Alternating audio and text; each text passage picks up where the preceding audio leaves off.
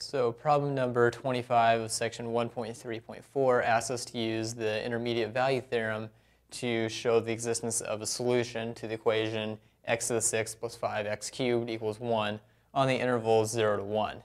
Now recall that the intermediate value theorem says that given any two function, given a continuous function on an interval, and take any two points in that interval that and look at their output values, then the intermediate value theorem says that the function has to hit all the values between those two points.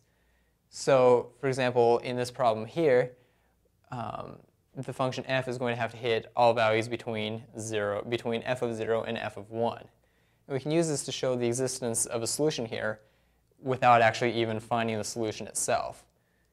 So what we know, we know that if we let, say, f of x equal x to the sixth plus 5x cubed, then f is going to have to take on all values between f of 0 and f of 1.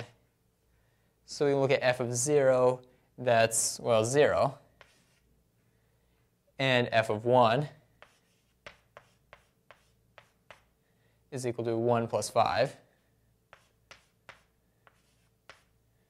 or 6.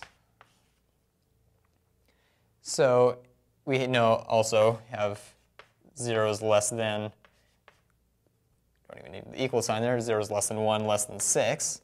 So we know that there's some value, we'll call it c, such that f of c hits the value, hits the value 1. So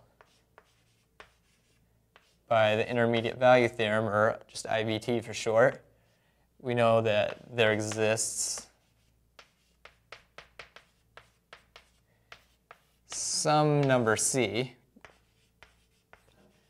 Don't know exactly what it is yet, but that's not important. That's we're actually to just show the existence, not actually find the actual number.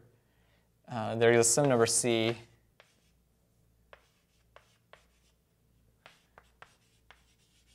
such that